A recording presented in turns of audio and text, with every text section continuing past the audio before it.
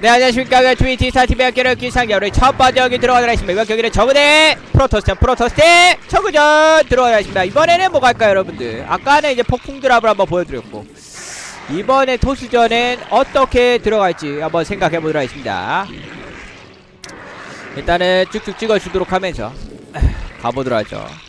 진짜 그 크롬병 좀 괜찮았을 때는 틀은 많이 안 했는데 그죠 여러분들? 어. 한, 한 2월 3월달인가? 3월달부터 5월달까지는 제 트름을 안 했어요. 그죠? 인정하십니까 여러분들? 제 방송 많이 보신 분들 알 텐데. 빠른 울트라. 토스전 빠른 울트라? 토스전 빠른 울트라 무슨 의미가 있어? 스커지 폭풍 드랍이요. 스커지 폭풍 드랍은 어디다 써먹습니까? 예. 어쨌든 스커지 폭풍 드랍. 숑숑 저글리 숑숑 저글링은 근데 테란전 아니면 의미가 없어 예. 게, 왜 게임마다 끊은 끊겨서 하나요 이러시네요 그럼 게임을 어떻게 합니까 게임을 뭐 연결해서 할 수는 없잖아요 예.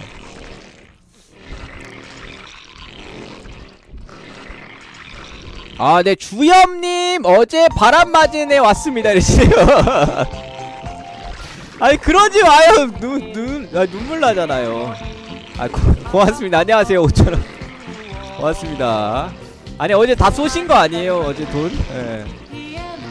고, 고맙습니다. 감사합니다. 예, 힘내세요. 예, 어제 그, 소개팅에서 바람 맞으셔가지고, 소개팅에서 쓰려고 했던 돈 저한테 후원하신 분인데 어, 오늘도 오셨네요 반갑습니다 후원 안 해주셔도 되니까 그냥 보세요 마음 아프니까 캐논러시죠 이거는 드론이 아니 프로가 저기 갈 일이 없거든요? 갔다라는 건 한 8, 90% 캐논러시기 때문에 뛰어가면 됩니다 여러분 그냥 대놓고 뛰어가요. 예, 여기 숨을 리가 없거든. 그지?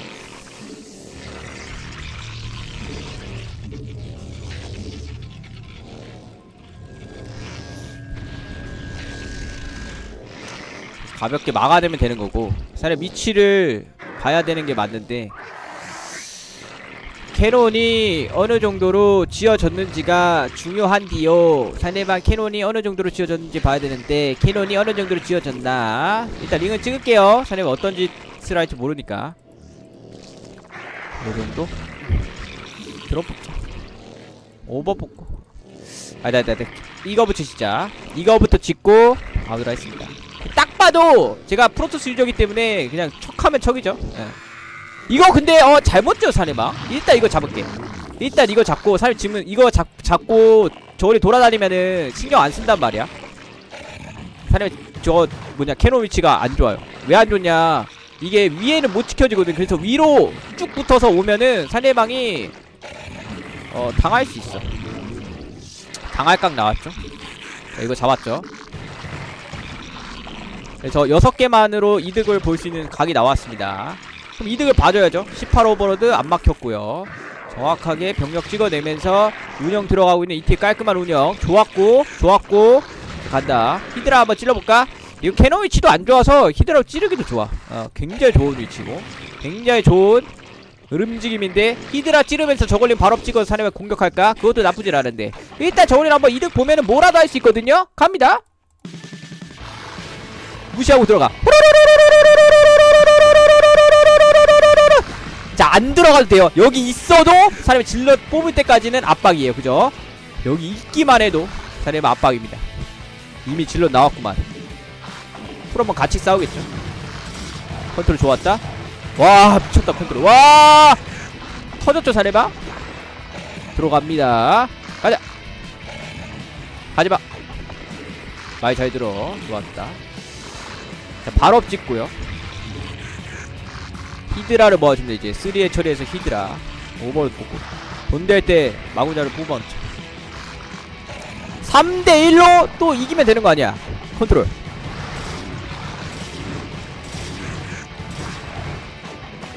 좋았다. 이길 뻔했다. 좋았어. 이 정도면 됐어. 드론 많이 뽑았고. 지나? 아 니트로 지나. 가자. 히드라 뽑자 이제 over 출, 총출동. 갑니다. 못 찍냐? 사정거리 up을 찍어요. 사정거리 사정거리. 여기 중요하죠. 사정거리. 여러분들의 사정거리는? 죄송합니다. 자 어쨌든 사정거리가 정말 중요하거든요. 지금 사정거리 업그레이드 빨리 찍어서 사정거리 들어가고 이거 빨리 피해, 피할게요. 갑니다. 다른 게 중요한 거 아니야. 히드라 적당히 뽑아주면서. 어 cannon 지어. 입구 심시티 해. 뭐죠 이거는? robotics를 대놓고 짓네요 에바 참치인데 내가 히드라라는 걸 알고 있잖아 뭐지? 물음표? 아 저거 뭐죠? 근데 아 저... 뭐지? 어? 나 보여준 적 없는데 이제 오는데 프로브가? 에? 어떻게 알았지? 뭐 있나? 내 본질에 뭐 있었어? 이거 뭐 나오면은 뒤에부터 찌를게 네. 새로 많이 지으라 해. 어, 지으라 했어 나는. 저글링 찍어요. 저글링 찍어요. 히드라로 입구만 벌리고요. 저글링으로 마무리하겠습니다. 입구만 벌려요. 입구만 벌리고 나머지 저글링. 나- 입구만 벌리고 나머지 저글링 갑니다. 못 막아요. 이거는 어떻게 막을 거야? 포지만 깹시다. 포지. 포지 게임 DC 뭐. 갑니다. 3대 처리해서 열심히 뽑아내고요. 처리 늘려도 되겠는데. 한 두 부대 될 거거든? 저걸 지- 저, 지금 오면은? 두 부대 합쳐서 가면 돼. 어떻게 막을 거야, 두 부대도?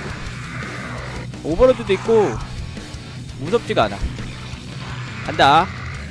히드라로 대줘야 돼. 이거는 뭐가 먼저 들어가냐고 물어볼 수도 있는데, 히드라가 먼저 들어가요. 왜 히드라가 먼저 들어가냐면은 몸을 대주고 데미지가 그죠? 공속이 저걸리 워낙 빠르기 때문에 검을 깨는 데는 더 좋거든요. 그래서 대주고 이렇게 깨면은 가볍게 이길 수 있다. 승리. 제제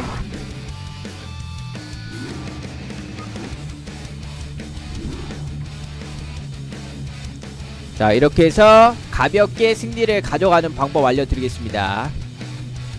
입구 벌리는 게 왜 야해요 님들아